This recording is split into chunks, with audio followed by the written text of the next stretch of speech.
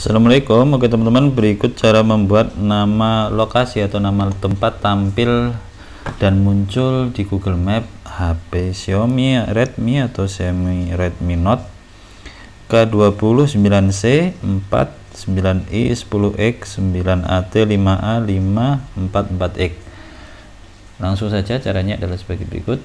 Ya pastikan sudah di Google Map-nya dan lokasinya ditemukan. Jika lokasi tidak ditemukan seperti ini contoh ini ya yang saya sorot maka teman-teman uh, klik bagian kontribusi ya untuk menemukan lokasi kita kalau susah ditemukan ya bagian kontribusi sini.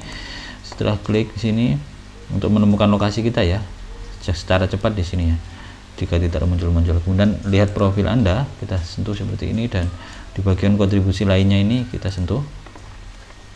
Kita masuk sini dan di sini adalah daftar nama-nama tempat yang kita bikin. Kalau satu berarti muncul satu ya. Oke pastikan di sini sudah disetujui ya. Contoh saya mm, menggunakan ini contoh saja ini. Contoh toko Najwa ini ya kita andekan adalah ini ya tokonya atau nama tempatnya kita sentuh masuk seperti ini sampai seperti ini pastikan pada tahap awal ini dan tahap kedua nanti teman-teman semuanya paham ya. Tahap awal ini pada waktu membuat e, nama lokasi atau nama tempat ini adalah kita isi semua datanya mulai dari foto foto dan lain-lain ya. di situ pada waktu membuat di situ ada lengkap semua. Jika pada waktu membuat tersebut kita tidak ngisi kita bisa tambahkan foto di sini tambahkan foto di sini. Kemudian setelah itu nanti kita bisa menambahkan informasi uh, nomor telepon yang bisa dihubungi di telepon uh, nomor telepon tempat tersebut atau lokasi tersebut jam buka dan ini situs web. Uh, jika nggak ada nggak perlu diisi ya. Ini kalau nggak ada nggak perlu diisi. Dan setelah ini diisi semua ini sebenarnya menu ini ada pada waktu kita bikin nama lokasi tersebut awal ya. Awal kita bikin sebenarnya sudah ada. Jika teman-teman belum ada itu silahkan diisi semua ini.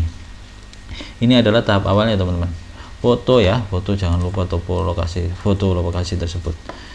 Ya untuk tahap kedua untuk membuat nama lokasi tampil di Google Map ya Xiaomi tersebut yang barusan saya sebutkan adalah uh, tahap kedua ini jika ada pengunjung pengunjung ini adalah ini tadi ya pengunjung mengunjungi uh, lokasi kita kita uh, meminta kepada pengunjung tersebut untuk memberi rating di bagian masuk ke toko kita ini ya toko atau nama tempat kita.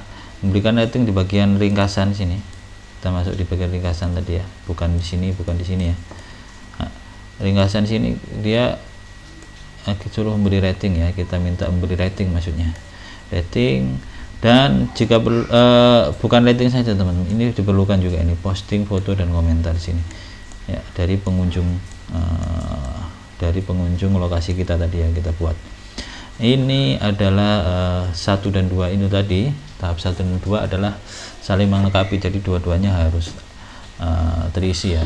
Supaya uh, di situ ada interaksi. Emang tokonya ada lokasinya ada. Di situ ada interaksi sama orang-orang di situ yang pernah yang pernah datang ke situ ya teman-teman Nah, dengan begitu nanti akan cepat uh, nama lokasi kita akan tampil di Google Map HP Xiaomi yang saya sebutkan tadi. Oke teman-teman, semoga bermanfaat. Uh, ini pasti bisa dimengerti ya teman-teman, bisa dimengerti semoga. Sampai jumpa di video-video selanjutnya.